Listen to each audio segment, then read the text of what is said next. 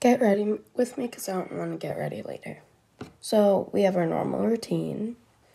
This, this, this, this, these two products, moisturizer.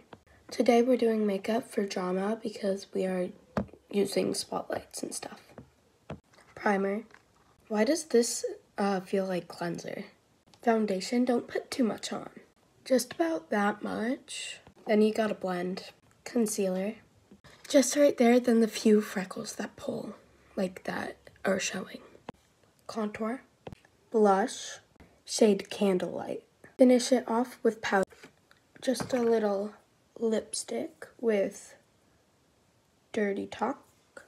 Vaseline to make it look glossy. This, this, this, this Sephora brow gel. Setting spray. Clean. Bye.